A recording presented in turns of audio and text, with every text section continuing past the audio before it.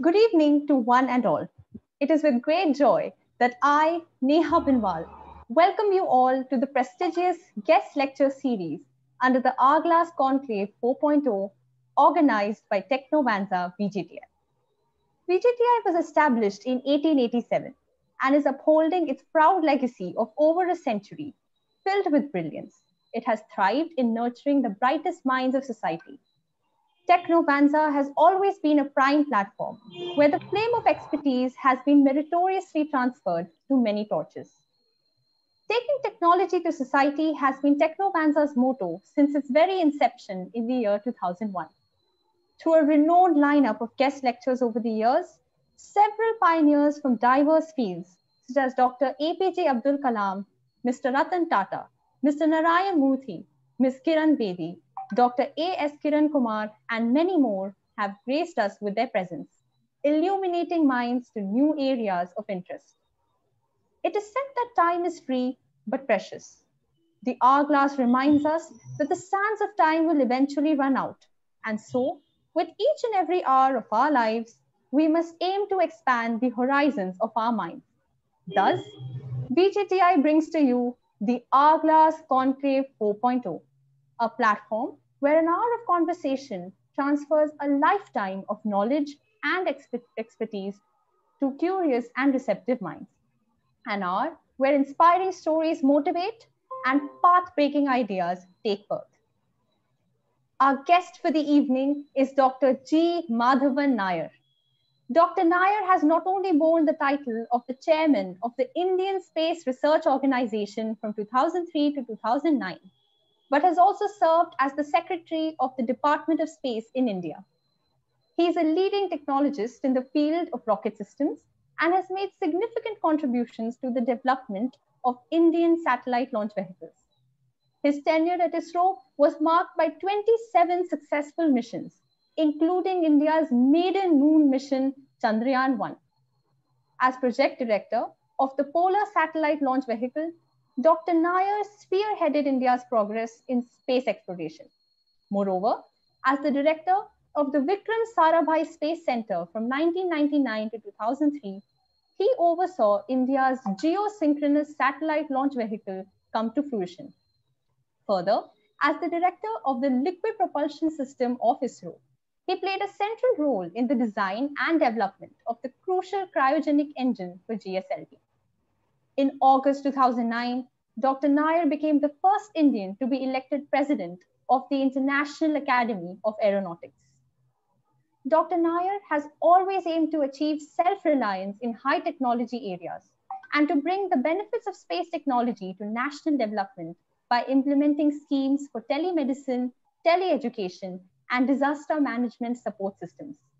In recognition of his brilliant achievements, the government of India awarded Dr. Nair the Padma Bhushan and the Padma Vibhushan. His journey to date is an inspiration to all of us.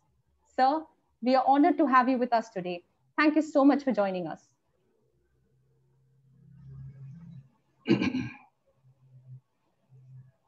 Thank you very much, uh, Neha, for the nice words of uh, introduction and a warm welcome. Uh, it's my privilege to be associated with this great institution and then uh, interact with the students and faculty as well as the many other students who are joining this session from all over the world. Uh, well, we have learned to live with COVID. That is what it looks like. Mm. you know, in spite of all the difficulties, the modern technology has come to the rescue and uh, the quest for knowledge and the learning process is going um, unabated. So this is something which uh, we can all be proud of, uh, the achievement of the science and technology to the society. Uh, it is a synthesis of various things like communication, uh, computer, and the software associated with that, and the total system engineering goes behind that, and so on. So it's a remarkable achievement for the humankind. Though we are affected, uh, I'm sure we will spring back soon, uh, especially with all the modern medical equipments and uh, the research which is happening at uh, different laboratories all over the world. The vaccine is very much visible. and maybe a few months of uh, detailed trial uh, with sample uh, population, uh, we may be able to release it uh, for the common use, and that way we can overcome. But at the same time, we have to be uh, very careful. this is only an indicator.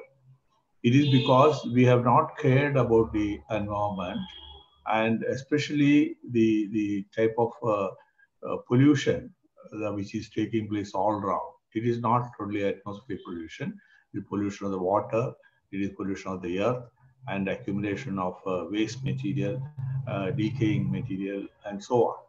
Hmm. So unless we have, we are conscious about all these things and make a deliberate effort to provide a clean environment uh, to our future generation, we will have uh, such pandemics coming quite often. Uh, we are lucky that uh, such a pandemic has taken place only 100 years back. Now it has again resurfaced, but we are recovering faster than what uh, during the Spanish flu in uh, uh, 2000, sorry, 1917. compared to that, I think we are doing better, but still we cannot be just what do you call enjoy the past glory. We should really see future and work for it.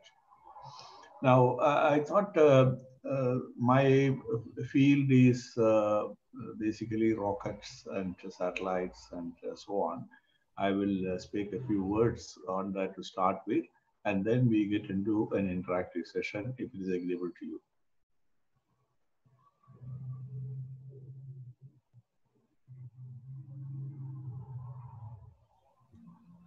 Absolutely, sir. Sir will be talking to us about his life experiences, after which we will have a Q&A session. So please drop your questions in the live chat below.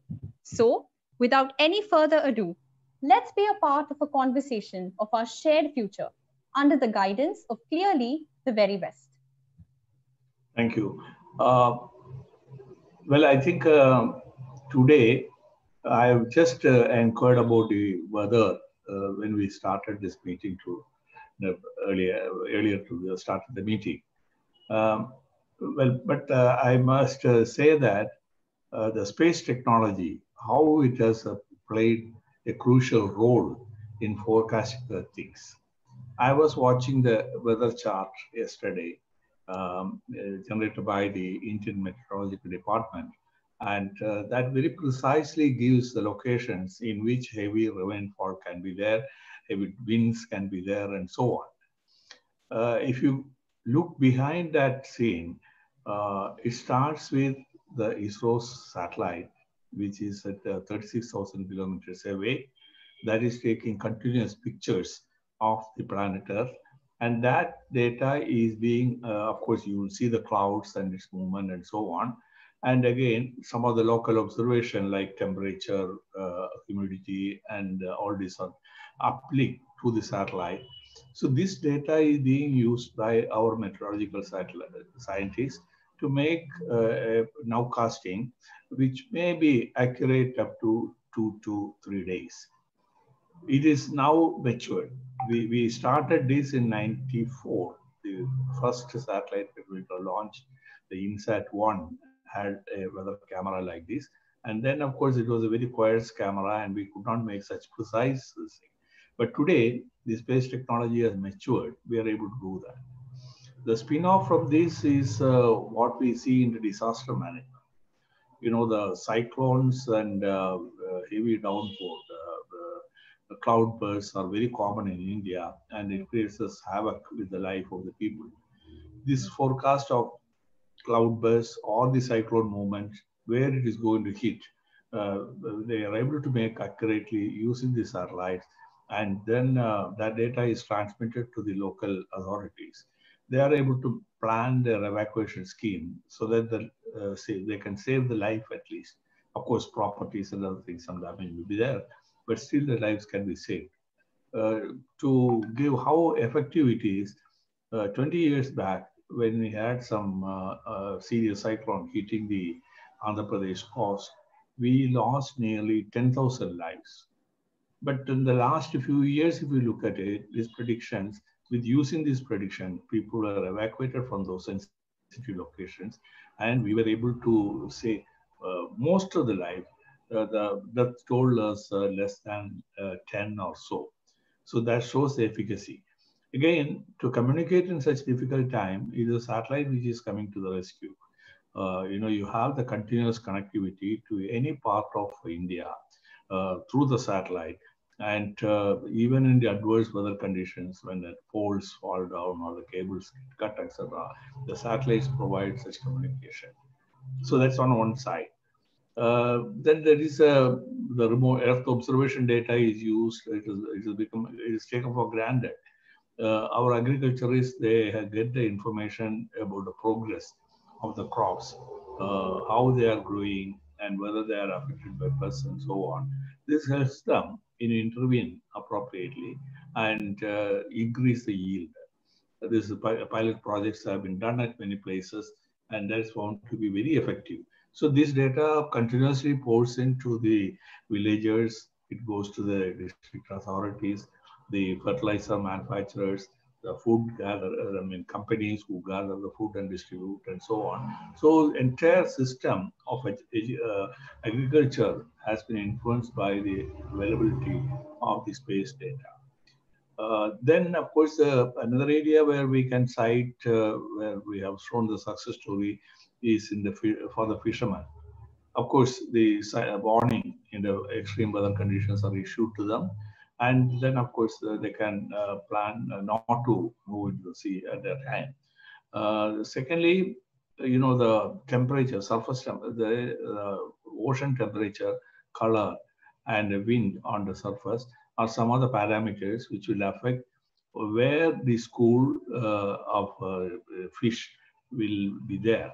And one can eat to large yield if you go to there directly. Uh, so this type of uh, uh, what you call pointers are provided in many of the fishing villages.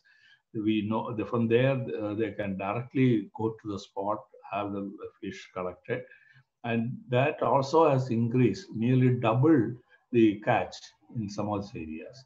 The system is very popular in the Gujarat coast, the Andhra Pradesh and Kerala and so on. So I, I can go on talking about this uh, system the space system, how it has transformed the lives, uh, the, the way we live in, and how it has become part and parcel of our day-to-day life of uh, every Indian. Uh, well, of course, I'm not, uh, uh, I don't want to leave out what we have done in the navigation area. GPS is the only stay, but we have the Indian regional navigation system, which is up in the air and that signals are being used for many critical applications in the country. Um, then, of course, uh, the exploration of the nearby planets like uh, Mars, Moon, etc., is very much in our agenda. And uh, we have uh, our rockets and satellites have gone all the way up, traveling to something like 40 million kilometers, and precisely arriving at the Mars, and then putting a spacecraft around it. And of course, again, entire surface of the moon is mapped today. We have a very precise 3D pictures of the surface, its chemical composition. Then as you mentioned about the water, we have the first to declare that there is water on the moon and uh, so on. Uh, but if we look back, when we started this activity way back in 60s, it was only the dream of our founding father, Dr. Vikram Sarabhai he has initiated this program in the uh, 60s. And the first event took place uh, from uh, Thumba, a village near Thiruvananthapuram, from where a rocket has been launched into the atmosphere. As the rocket was traveling upward, it collected various parameters of the atmosphere and uh, sent back. And also the ionosphere, which was very important for communication those days, uh, was also being explored using these sounding rockets. But this is a time when the other countries like Russia or uh, America have come up with uh, launching of artificial satellites around Earth and then uh, using it uh, for various uh, uh, purposes. There's about 58, you know, that first artificial satellite, Sputnik, went around the Earth and then it's followed by the, many of the American satellites and also a human being at the time. The Americans have decided to land man on the moon, and 1969, uh, uh, Louis Armstrong has stepped down on the moon very successfully. So this is something, uh, uh, you know, the, the, global competition on this going on. But they all started this activity as something like a spin-off from their military programs. Uh, after the World War, there was a competition to make uh, missiles, and those missiles were put to use for launching such satellites. So it is uh, really the basis is on that. But whereas India had nothing, no rocket technology at the time, it was uh, Tipu Sultan time, so which uh, where the first rocket was used in India, and that was developed by Tipu Sultan and his technicians, uh, and used against the British Army. But the Britishers they defeated Tipu Sultan and took away all the rocket samples which were there, also the technicians, and they benefited out of it. After that, there was a big lull for almost 250 years, and it is in 1960s we started making small rockets. And uh, if you look at those rockets today, uh, it is slightly larger than the rockets what you use during the Diwali days. Uh, there is nothing, it is almost like a toy. While we are making this, Dr. Sarabhai gave us a vision. You have to become self-reliant in the uh, launch vehicle technology, building satellites, and using them for the practical uh, problem, solving the practical problems of the common man in India. Yes, that has been our guiding spirit, and we have truly lived up to that. I was fortunate to be part of this program uh, starting from 1967 and joined uh, as a fresh engineer from the Trivandrum Engineering College. And then uh, I was lucky that uh, Dr. APJ Abdul Kalam was my first boss. That changed my life totally. He was one person who will not be satisfied with a no for any answer, anything. Uh, he used to pose many technical challenges before me. Even many of those technologies were totally unknown. And there was no internet or any fast uh, data communication system those days we had to rely upon the reference books which are available in the library and mostly use our brains to innovate and bring out practical solution. I was happy that I could uh, work for the first uh, SLV 3 project, uh, which placed a 40 kilogram satellite into Earth's orbit. And that was a great achievement for the country. Uh, it was in 1980. And uh, soon after the launch, all other countries got uh, together, they slapped embargo on India. They said we are on the path of developing ICBM and India should not be supported in the space activities. It was almost like a blessing in disguise. That has uh, really motivated us to take on the challenge and go for self-reliant technologies and homegrown systems. In fact, today Modi ji is talking about that Atmanirbhar. We have uh, been forced to go for Atmanirbhar in the 80s itself. So the result of that is what you're seeing today. When we talk about the PSLV, the Polar Satellite Launch Vehicle capable of nearly taking 1.5 tons to orbit, or the GSLV, which is able to take nearly 10 tons of spacecraft into the near Earth orbit, uh, we have rockets as powerful for any other nation in the world. And that uh, rockets, some of them use solid propellant, some of them use liquid propellant, some use cryogenic propellant, and some of the spacecraft use uh, electronic uh, ion propulsion, and so on. So then for controlling and guiding, we require sophisticated instruments like gyroscope, accelerometers, without anybody's help, we have perfected our gyroscope using the laser beams. And that is the mainstay for our uh, event for the interplanetary missions.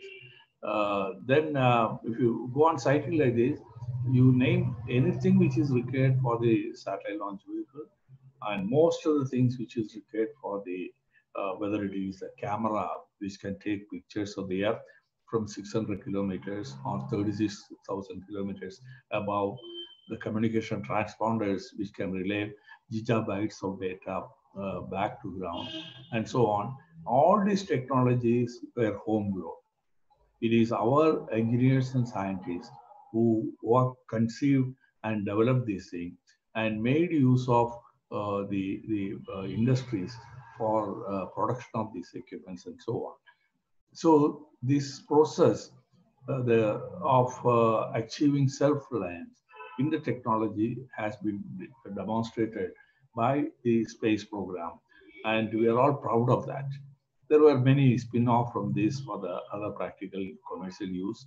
The, uh, the polio affected children were fitted with uh, carbon composite uh, calipers, which are very lightweight, about uh, one fifth the weight of a metallic one.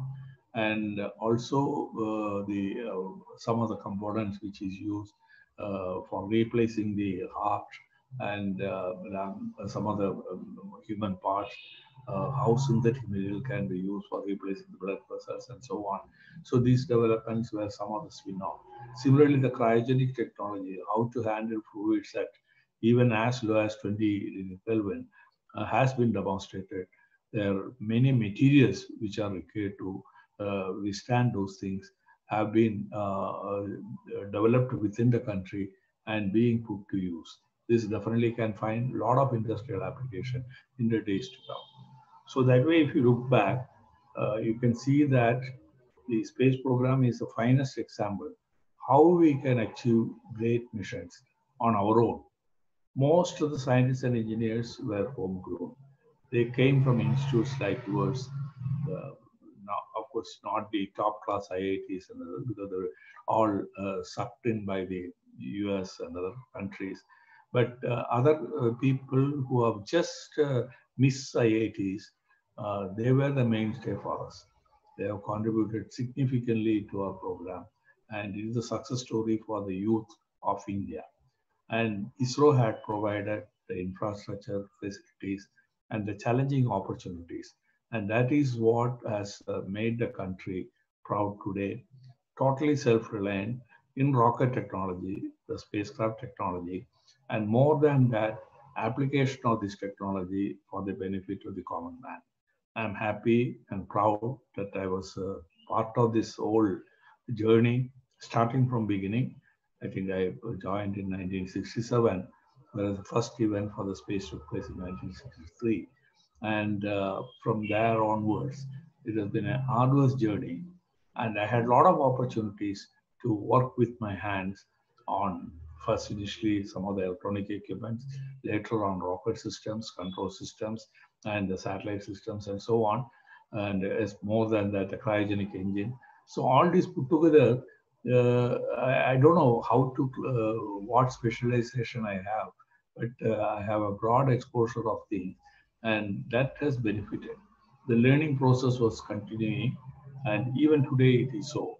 I had to, I will spend most of my time trying to update myself in the technology area and that helps me. Uh, uh, and uh, of course today uh, I don't have any direct involvement in any of the development program, but at the same time, whatever knowledge I have acquired, I share with youngsters and that is, that gives me great pleasure. And today is set another occasion for doing so. Thank you very much for inviting and giving me this opportunity.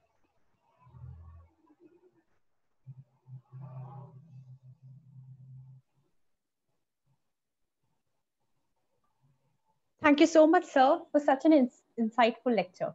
I'm sure that I'm speaking on behalf of the entire audience watching us right now, that you have put forth groundbreaking thoughts, positive ideas, and have instilled in us a new perspective. We will now begin with the Q&A session so that you can answer a couple of interesting questions for us. Okay, that will be my pleasure. Thank you. So starting off right away, yesterday on the 5th of September, we celebrated Teachers' Day.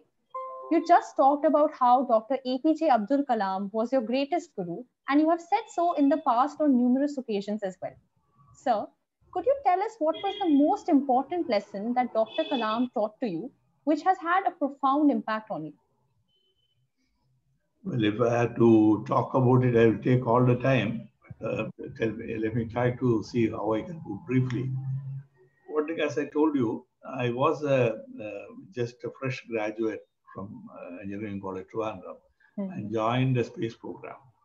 We have not even uh, know, knew the spelling of space program those days. Mm-hmm. in that condition, I joined him. And the first day of joining itself, uh, he has uh, first, of course, inquired briefly about my family and whatnot. Next one hour, he talked about the whatever the ambitious program with uh, ISRO was having in those days. Uh, of course, those were the sounding rockets, so associated instruments, telemetry, telecommand, radar system, and so many things. Uh, then, of course, listening and uh, nodding my head. Then initially he was watching me, but later he told me that no, no, no, this is not the way to go. He called his PA and asked him to give me a notebook. In fact, in even in college days, I never used a notebook. Mm-hmm. Uh, I always used to listen to the lecture and go and write the exam. So mm-hmm. that was my practice. But here is the man who insisted that I should do so. Then when he filled about uh, 10 pages or so with this type of questions and the challenges, uh, fine. I said, uh, I will uh, try to learn because in college, such topics will take about a year or two to learn. Then he said, nothing doing. I want answers for all these things within the next one month. Mm. No, he virtually put me into the frying pan. Mm-hmm. So that's the starting point. In fact, that has made the transformation in me, uh, you know, from a simple electrical engineer to a rocket engineer and rocket scientist. And that learning process, what I picked up at that time, of course, one thing is I told you the reference libraries are available, you can go and read. More than that, interacting with people. Mm-hmm. I didn't, uh, I spent about half of my time in that month meeting other colleagues in other departments. You know, some people were specialists in the radar, some in telemetry system, some on the rocket propellants and so on. And that type of interaction has helped me. Then later, when we were launching the, the small uh, rocket payloads, many of the foreign scientists came in. Uh, that was a great opportunity. The scientists uh, from Japan, from Italy, from UK, and Russia, USA, they hmm. come from diverse fields. Uh, some are meteorology, some are astronomers, and uh, so on. So just getting bits and pieces out of that, that gives you some idea about what the global thing is there. Then naturally you will be enthused to uh, inquire further. When you talk about a X-ray astronomy star, I mean, I, I mean, X-ray machine I have seen in a hospital, but I never knew that the stars emit X-rays. Professor mm-hmm. U.R. Rao was a person who was building a payload. And he mm-hmm. was uh, giving me lessons on uh, the uh, mysteries of the universe and uh, how these planets evolve and during the process, how this emission takes place and so on. Uh, this kind of learning, step by step, uh, that is uh, inducted by Dr. Kalam. And then more than that, he has taught me uh, how to be patient, how to listen to people, and uh, be a synthesizer of a technology. See, you may be a specialist in a particular field and you can do very good task in that. But today, nothing is uh, coming along with one specialization. Mm. Any uh, product or system, if you take, it is multidisciplinary.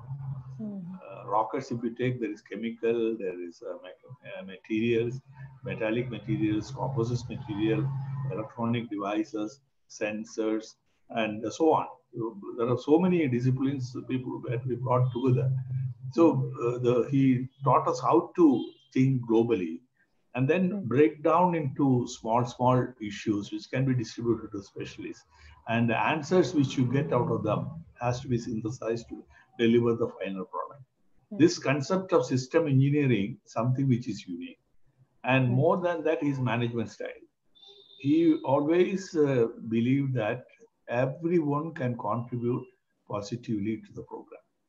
See, that I have seen quite often many other people, they say, oh, this fellow is useless. He doesn't understand. He doesn't do the hard work like that and write them off. But uh, such, uh, there are few people of that category were sent to Kalam's team at those days. Mm. But he made them work hard and deliver some product or other which is required for the program. So that's the kind of thing he was. He was a great motivator and he used to uh, really uh, challenge the uh, limits of capability for every individual. He used to give very impossible, seemingly impossible projects and put a difficult schedule also. And uh, of course, he is there to oversee and give guidance uh, from time to time. So uh, that's the style in which I grew up. So perhaps I can say that what I have acquired in rocket technology, what more than that, what I, I acquired in managing multidisciplinary technical teams. No management school will teach you this. In fact, uh, I happen to attend to some of the uh, senior experts in the management in some occasion or other. They all know how to draw an equation and finally come to the bottom line of money. Mm. Here it is not so. It is a technology challenge. It mm. is a real uh, uh, the pressure of uh, innovating and bringing out something new. So that is what drives ISRO today. And uh, of course, this culture, uh, Dr. Sarabhai's days itself started. Uh, Dr. Kalam is one of the person who contributed in perfecting it. Then we had great people like Professor Satish Dhawan, who was a chairman for 10 years. Professor U. R. Hmm. Rao, he was also there for 10 years. Then Dr. Kasturirangan and so on these people all uh, like a relay race they held a torch and moved forward. And we were all happy to work not for money or pleasure but uh, to see the pleasure of achieving uh, or seeing our indian flag on the moon or uh, putting a satellite heavier and heavier in the uppermost atmosphere and so on. So that is a technology challenge which has turned us and uh, it's a self-learning process i would say Sir, those sound like words of wisdom indeed. And they remind us of the fact that our gurus have such a huge role to play in the people that we become. Moving on, uh, Sir Chandrayaan 1 was a phenomenal success. And among many achievements was the discovery of widespread presence of water molecules in lunar soil. Water is often considered a reliable biosignature. So, given all this, what are your views on the presence or existence of extraterrestrial life? Well, one thing, uh, we were uh, the first to announce that the, the presence of water on the moon. Hmm. Neil Armstrong brought some samples from the moon hmm. and was analyzed on the ground. Hmm. NASA scientists at the time spotted some molecules of water in the rock, mm-hmm. uh, but uh, they couldn't uh, believe and they brushed aside saying that it may be sweat from the hands of the astronaut. Mm. And uh, it's a funny story, uh, but uh, still that was a time. Then later also some other satellite went nearby and looked at this and so some signatures were there, but they were not clear. Mm. But we could do that. There is something.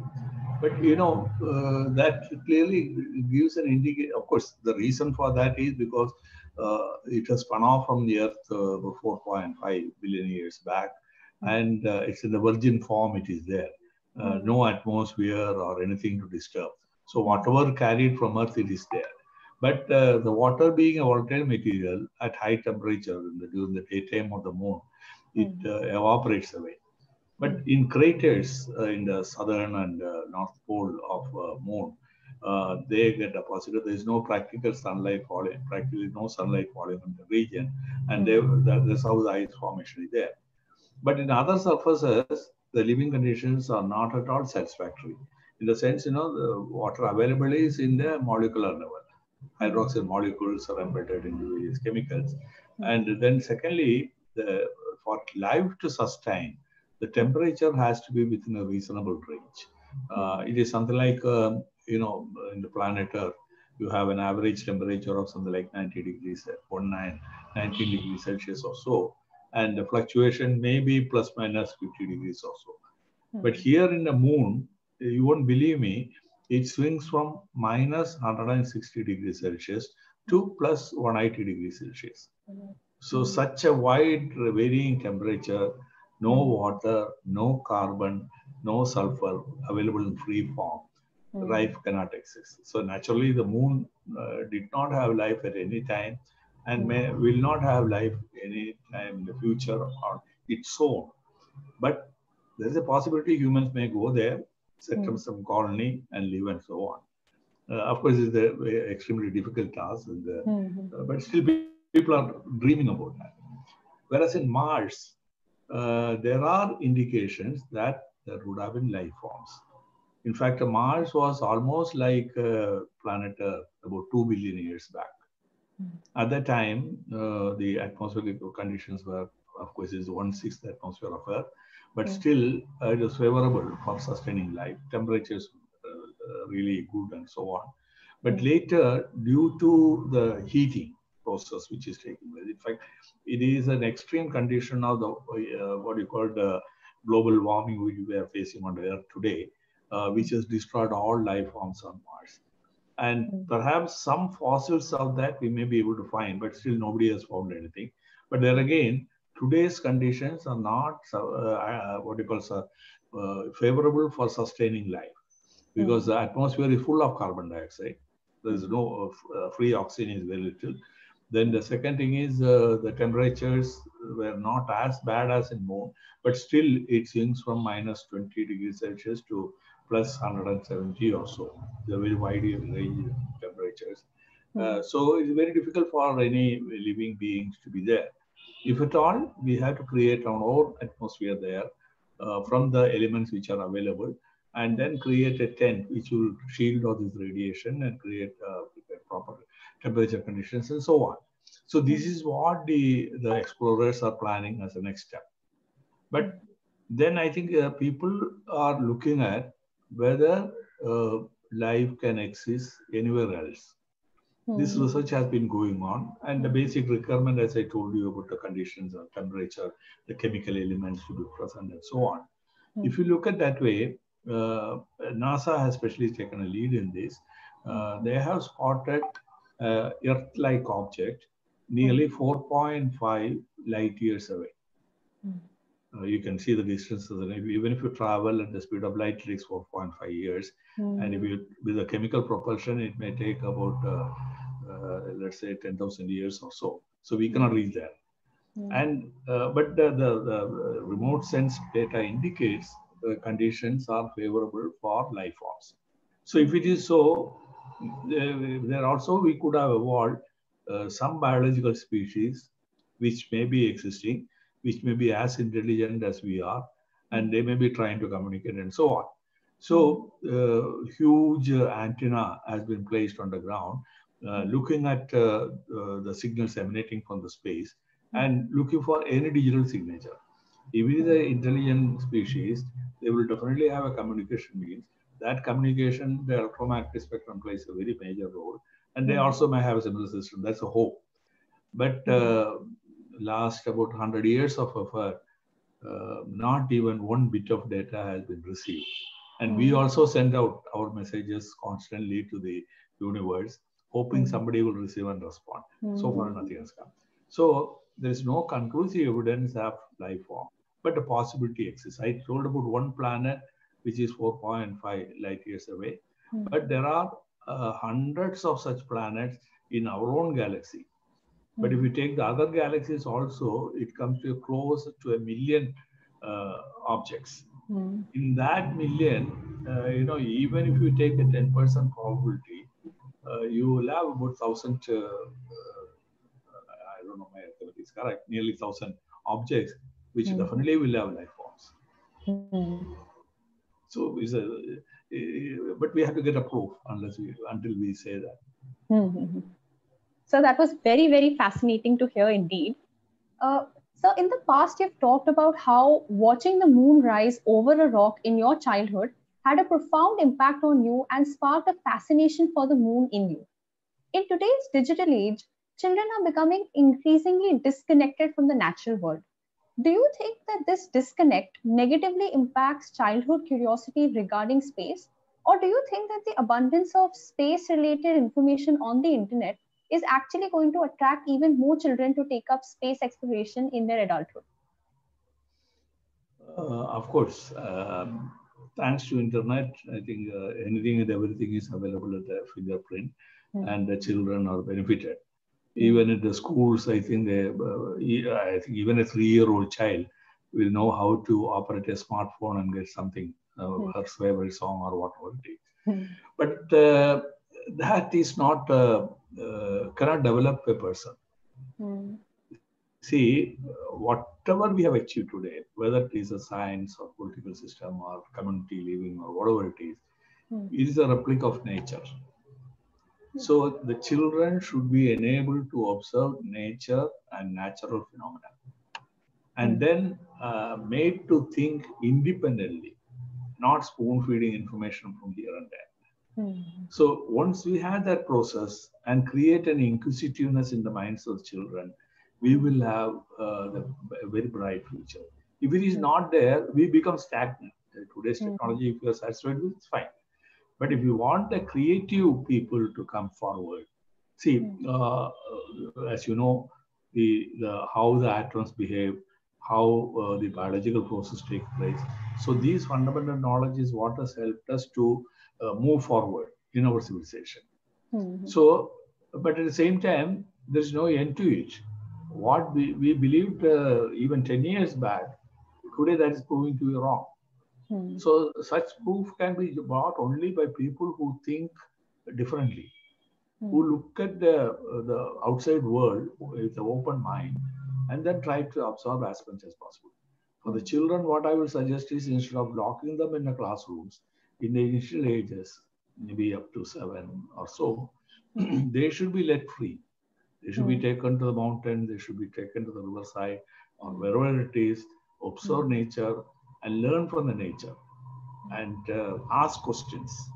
And if they don't find answer, go to the internet and try to see. Mm. So that's the kind of thing we should bring. And the mm. controlled use of internet at the early stage is absolutely must because there's a lot of junk information also is floating around that. Parental guidance is absolutely essential if you want to put them in the right direction. Hmm. Uh, so that uh, so the things have to change. It cannot be going like this on the screen and uh, just chit chatting over the network. Mm-hmm. Absolutely, sir. Your words remind us of the fact that balance is the essence of life, and nature always has all the answers. So you have never been afraid to start working on new technologies from the ground level. In your lecture, you talked about how one must look at adversity and take it as a blessing in disguise. As we come to the end of today's session, could you share some words of wisdom to encourage all of us to strive for excellence and not be afraid of taking some risks along the way, even if it seems extremely daunting? Well, I think uh, it's a very uh, difficult question because uh, I'm not an expert in advising the students, especially the new generation. Uh, they listen through one ear and throw it out to the other one. Uh, but at the same time, yes, uh, to tell you frankly, uh, I also mentioned earlier, the learning process is something is very, very important. That has to continue lifelong. Mm. That's the first principle. Second one is uh, you should be bold enough to ask questions and try to explore the areas where the answers are not available use your brain or somebody else's, your neighbors or internet or whatever it is. But until you get the answer, you should never get satisfied. Hmm. Thirdly, if you want to be innovative and do something new, you have to take this. You will evolve a design and then try to realize it. And during the process, you may come across failures. Hmm. Should not be put off by failures. Hmm. But uh, my own experience, you know, the the first SLV3 flight in 1979, mm-hmm. Ram myself all the together, it failed. Mm-hmm. You know, but um, uh, I think we, we declared to the, the whole nation that day, we will come back within a year. Mm-hmm. We did so. Mm. We, we try to go deep into the reasons for the failure, fix the failure, and then launch successfully. Mm. Similarly, uh, my first PSLV launch, my baby, I will say, uh, mm. that again ended up in sea. Mm. Uh, normally, people would have fired me from the post and thrown me in some corner. But instead, I got all the encouragement and I assembled the teams back and discussed the pros and cons of why it has happened and finally narrow down to a software uh, bug which has happened in the onboard computer. And of course, fixing that was uh, once you find out, it's easy to fix it. Mm. But after that, uh, that is, I'm talking about the early 90s. At the time, practically there is no computer. We have not have any idea about the software engineering. Mm. But our team members were enthused to make uh, all the elementary things which is required for software configuration control, the testing methodology, and validation using the ground system and so on. So a new technology evolved out of that. Mm. So what I'm saying is uh, any such failure, it becomes a big teacher. Mm. And uh, you have the willingness to face the challenges and uh, come out of it as quickly as possible, not worrying about what has happened. Of hmm. course, on that requires uh, the support of the management as well. We had great leaders like Professor Dhawan, in fact, I was just writing a note on a memo for his 100th birthday. Mm. Still in my ears, it uh, uh, sounds. The first uh, SLV failure, he was a chairman at the time. Mm-hmm. He went to the press and said that we have failed. Mm. I own the responsibility for the total event. Mm. We will come back. Is the word he used. Mm. So the second time, uh, when attempted everything was successful, he never came to the front. He pushed Dr. Kalam to the front mm. and uh, made him claim the order credit for that. Mm. So the leader, he owns the failure and he doesn't uh, go with hunting. He really, uh, uh, what do you call it, encourages people to be creative and so hand holding. And uh, that, that's the kind of thing which is management area especially in the technical area. Mm. But uh, as far as the individual concern, you may come across a difficult situation, but use your brains to mm. analyze and then take a logical solution, not an emotional solution. Mm. So perhaps uh, you know sleeping over a problem for a night will help. Mm-hmm. Today, instead, what happened in your social media? Somebody puts a comment, and uh, within seconds you react, and sometimes it becomes the explosive situation. That should be avoided. Mm-hmm. Think before acting. Thank you. Absolutely, sir. We will try to imbibe all these qualities in our day to day life. Sir, we are honored by your presence. It was indeed an impactful session, and thank you so much for joining us. Well, it's we my. Hope... Uh, yeah, please. No, sir, no, sir. Um, well, it was a really good one, and you have really put very sharp question. Uh, perhaps if I answer that, I can publish some books. Thank you so much, sir. We hope you all enjoyed the session. The upcoming GLS will be held on the 11th of September at 6 p.m., the speaker for which will be announced shortly on our social media handles. Stay tuned. This is Neha Binwal signing off. Until next time, this is Technovanza VJTI. Bye. Thank you and congratulations.